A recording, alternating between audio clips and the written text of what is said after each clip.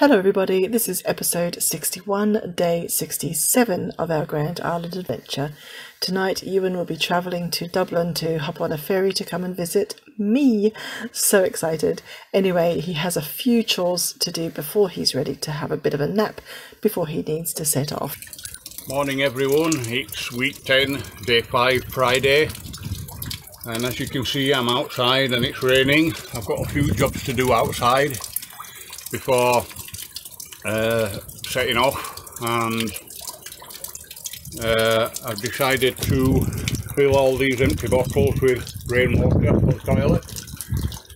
But I don't really want to go all that wet so I've just put a temporary board in between the extension and the shed just so I can shelter from the rain while I'm decanting this water. There it is. Look it's uh, going to come down in a minute when I finish this anyway it actually looks like it's going it actually looks like it's going to come down the way before I finish but we'll see anyway. It's only chipboard and it's getting wet so I've got to do that. Once I've finished doing this water I've got to fill the generator with a little bit of petrol so that I can um, finish doing some routing in the house. And then I'm going to take the generator and the router back to the hire company that's inconvenient having somebody message me while I'm talking. Anyway so I'm going to finish this off and then I'll do another video a bit later on.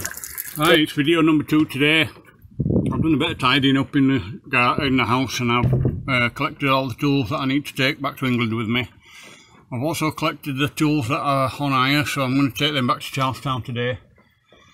Plus just stop by uh, to see how I'm going and uh, ask if I'm going to pop by for a cup of tea uh, before I set off. So I'll do that after I come back from Charlestown because uh, I need to get these mucky clothes off and uh, get some clean clothes on. So I'll go down to his house and have the cup of tea, then come back and get changed and go to bed for a couple hours. I need to get uh, some more sleep today because uh, I set off at midnight tonight. My sailing's at 8, 8 a.m.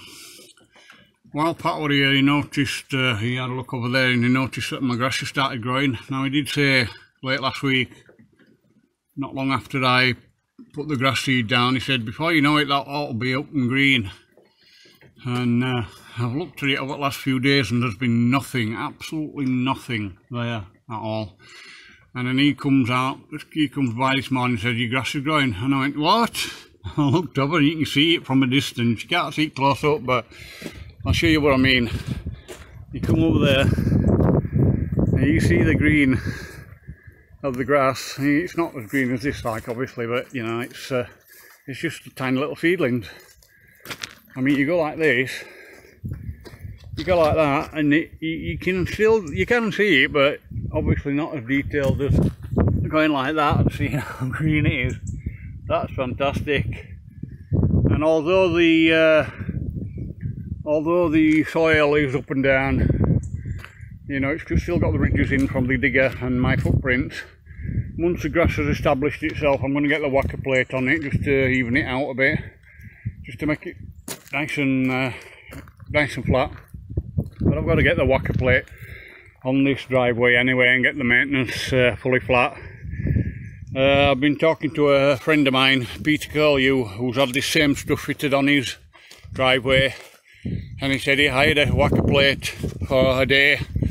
And he and his missus just whacker plated it all day long. And he says now it doesn't even need concreting or uh, or tarmacking he says you just leave it as it is. Just uh, maintenance. And then all he has to do is go out with his own special formula of wheat killer which I will tell you about another day uh, it's uh, all natural ingredients and Stupid Cupid, you're a real mean guy. I like to clip your wings so you can fly. Anyway, that's my ringtone. um, so I'll uh, I'll give you the formula for the um, wheat killer at a later date. Actually, I've seen, I've just seen here in this side of the maintenance, there's a little bits of grass growing up where the seeds have fallen on the uh, on the maintenance as I was uh, spreading it about here. Because I spread it all over here. You can still see it there, lots of grass is growing. And uh, I put it all over there. It's going to be growing up there as well. I put some here. It's definitely growing there. I can see little snippets of growing here and there, so that's all right. Maybe at some point in the future, I'll get this dug out and get some maintenance all the way around the house.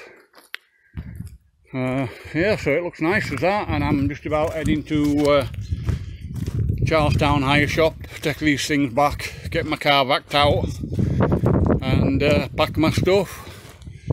And then uh, I'll catch you again in another video a little bit later on.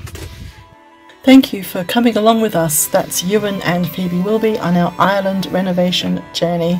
If you want to be notified of updates and new videos as they are uploaded, please remember to click the subscribe button below and then hit the bell. Also, we love company, so feel free to share our YouTube channel with your friends. The more the merrier, and please leave us a comment if you wish. We'd love to hear from you. See you next time. Our love to you all.